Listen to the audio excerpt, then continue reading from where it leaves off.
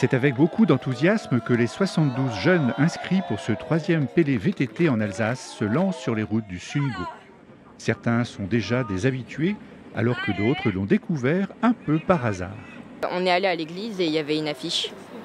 Et euh, l'affiche, euh, il y avait écrit Pélé VTT et pendant 4 jours, 40 km par jour.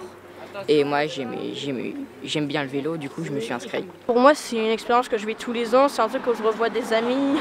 Euh, je vis des expériences plutôt sympas parce que c'est assez émouvant comme euh, colo.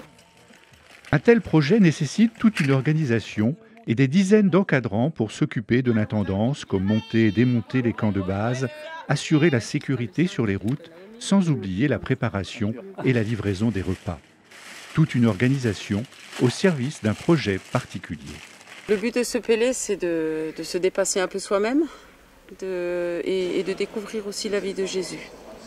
Pour cette partie-là, on a un prêtre qui nous accompagne, parce que moi je suis plutôt en charge de toute la partie administrative, l'intendance, parce qu'il faut nourrir ces petits, il faut trouver des lieux d'accueil. Et à côté de ça, je suis accompagnée de, de Père Julian qui s'occupe avec d'autres prêtres de la vie spirituelle. Chaque année, le nombre de vététistes augmente. Preuve que la formule mêlant sport et spirituel a fait ses preuves. Le sport, euh, c'est tout à fait pour l'orage, et puis euh, le spirituel, bah, en fait, tout est spirituel dans notre vie, n'est-ce pas? Donc c'est même, même le but en fait de, trouver un peu cette, harmonie et puis de, nous rendre compte comment euh, à travers l'effort physique, la solidarité, le soutien, l'entraide, eh ben, c'est par là que Dieu passe.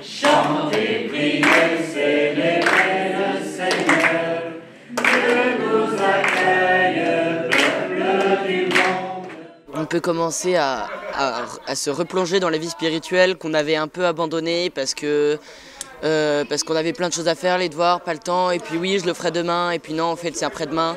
Là, on a les temps dédiés pour. Tu laisses ouvert comme tu le mets directement.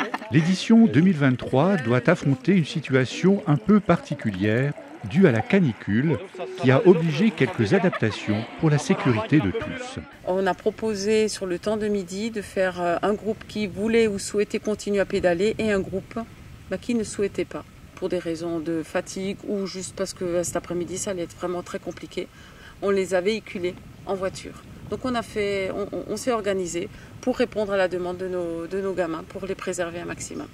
Comme sur le Tour de France, des accidents peuvent arriver, aussitôt pris en charge par le médecin du pèlerinage. Il a fait une chute en avant avec euh, probablement pas de traumatisme crânien, mais il est, des dermabrasions partout sur le corps et une suspicion de traumatisme de l'épaule. C'est pour ça que j'ai quand même dû l'envoyer. Ça s'est réveillé pendant le trajet quand je suis venu jusqu'ici, et donc j'ai préféré le faire euh, contrôler à la clinique. Au fil des jours et dans le plaisir partagé de cette aventure, se créent des souvenirs inoubliables. Bah déjà, il y a une super méga ambiance. Euh, ensuite, euh, le VTT c'est vraiment génial, surtout quand on le fait à plusieurs. Euh, et en plus, ça permet de, rencontrer plus de gens qu'on ne connaissait pas et de se reconnecter avec la foi. Après avoir parcouru 156 km dans le Sungo et malgré les difficultés rencontrées, l'équipe organisatrice se projette déjà dans une prochaine édition. Le parcours pour l'année prochaine, ouais, on a déjà des idées avec Père Julian et voilà, reste plus qu'à toquer aux portes des communes pour voir si on nous met les terrains à disposition. Rendez-vous est donc pris pour un quatrième Pélé VTT en août 2024.